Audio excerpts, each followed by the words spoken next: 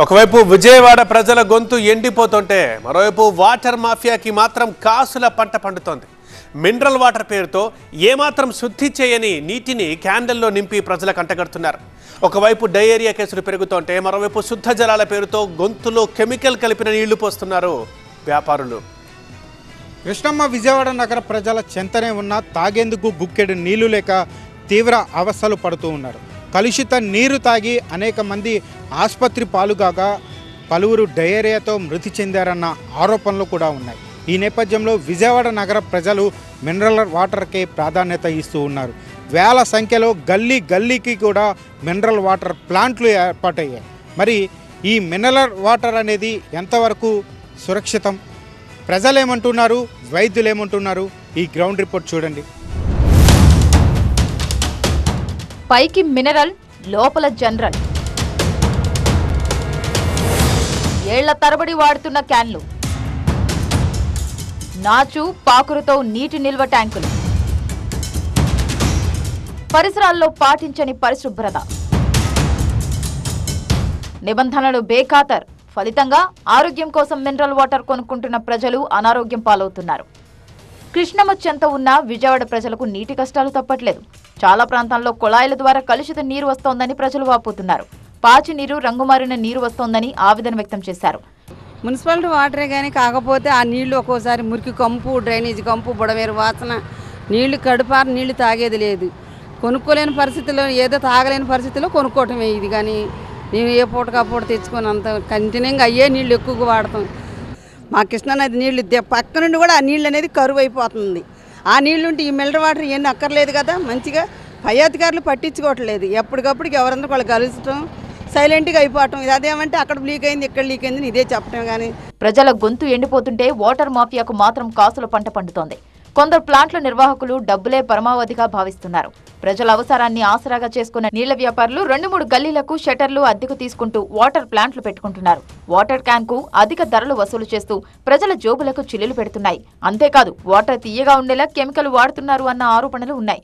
రాష్ట్ర వ్యాప్తంగా కూడా ఈ రోజున డయేరియా అనేది చాలా విజృంభిస్తున్నటువంటి పరిస్థితి. వాస్తవానికి మేమంతా కూడా రోజు మున్సిపల్ వాటర్ తాగేవాళ్ళం. కానీ ఇప్పుడు ఉన్నటువంటి పరిస్థితుల్లో మున్సిపల్ వాటర్ వల్ల డయేరియాలు రావడం ఈ మున్సిపాలిటీ పంపులు రిపేర్ చేయకపోవడం వల్ల కాలువలో కలిసినట్టు వాటర్ ఇలాంటివన్నీ న్యూస్ల్లో చూడడం వల్ల మేము రోజు కూడా భయపడి ఈ రోజున మినరల్ వాటర్కి తీసుకోవడం జరుగుతూ ఉంది. కొన్ని చోట్ల అయితే పది రూపాయలు వసూలు చేస్తూ ఉన్నారు కొన్ని చోట్ల ఇరవై రూపాయలు వసూలు చేస్తూ పరిస్థితి. వా- ఈ యొక్క డయేరియాని ఉద్దేశించుకొని లాభపడిన వాళ్ళు కూడా లాభం కోసం చాలామంది కూడా అనేక రో- రేట్లు పెడతా ఉన్నటువంటి పరిస్థితి. విచ్చలవిడిగా వెలుస్తున్న నీటి శుద్ధి కేంద్రాలపై అధికారులు నిఘా కరువైంది. దీంతో వాటర్ ప్లాంట్ల నిర్వాహకులు సరఫరా చేసిందే శుద్ధ నీరు అన్నట్లుగా ఉంటుంది. వాటర్ ప్లాంట్ల నుంచి కొనుక్కొని తాగి వాటర్తో ముప్పు పొంచి ఉందని వైద్యులు హెచ్చరిస్తున్నారు.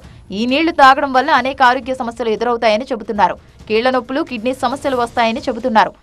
ఈ అండర్ గ్రౌండ్ వాటర్లో కానీ ఫ్లోయింగ్ వాటర్లో కానీ హెవీ మెటల్స్ అంటే మెర్క్యూరీ ఆర్సెనిక్ జింక్ క్రోమియం ఇలాంటివి ఉండడం వల్ల పేషెంట్స్కి అవి ఎవరైతే వాటర్ కన్జ్యూమ్ చేస్తారో వాళ్ళకి జాయింట్ పెయిన్స్ కిడ్నీ ప్రాబ్లమ్స్ లాంటివి వస్తాయి.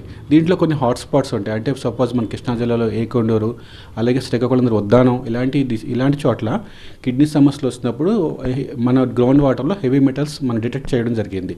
సో ప్రాపర్గా ఆర్ఓ చేసి ఫిల్టరేషన్ చేసిన మిల్టర్ గవర్నమెంట్ సర్టిఫైడ్ టెస్టింగ్ చేసిన ఆథరైజ్డ్ వాటర్ మినరల్ వాటర్ మాత్రమే తాగాలని జనాలకి విజ్ఞప్తి చేయడం జరుగుతుంది.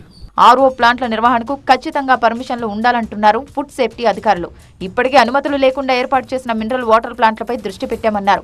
ఇటీవల మొగల్రాజ్పురం కలుషిత నీరు ఘటనపై దృష్టి సారించామని ప్లాంట్ నిర్వాహకులు నిబంధనలు ఉల్లంఘిస్తే కఠిన చర్యలు తీసుకుంటామని హెచ్చరిస్తున్నారు. అనుమతులు లేని ప్లాంట్లు చాలా ఉన్నాయండి. అసలు మా లెక్కలో కూడా లేవు అవి.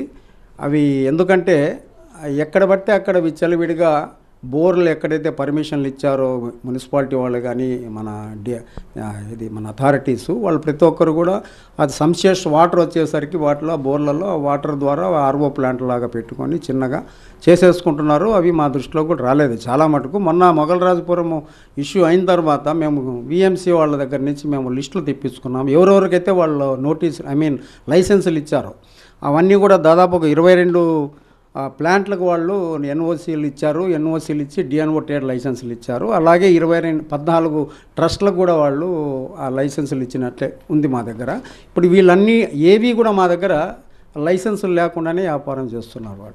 అందుకు ఈ మొత్తం ముప్పై ఐదు ఏదైతే ఉన్నాయో ముప్పై నలభై ఈ ప్లాంట్లకు అన్నిటికీ కూడా ఇప్పుడు మేము నోటీసులు పంపించాం. ఆల్మోస్ట్ అన్ని ప్లాంట్లకు వెళ్ళిపోయినాయి.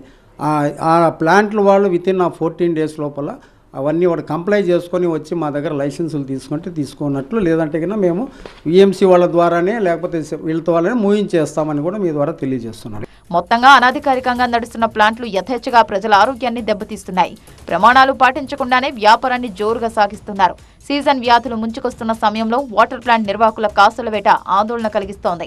అనుమతులు లేకుండా ఆర్ఓ ప్లాంట్లు నిర్వహిస్తున్న వాటన్నిటిని కూడా ఇప్పటికే గుర్తించాం. వారికి నోటీసులు కూడా జారీ చేశాం. వారు ఇరవై రోజుల్లో గనక స్పందించకపోతే వారి మీద కఠిన చర్యలు కూడా తీసుకుంటామని గౌస్ చెప్తూ ఉన్నారు. కెమెరామ్యాన్ నరసింహతో బాబీ టీవీ నైన్ విజయవాడ.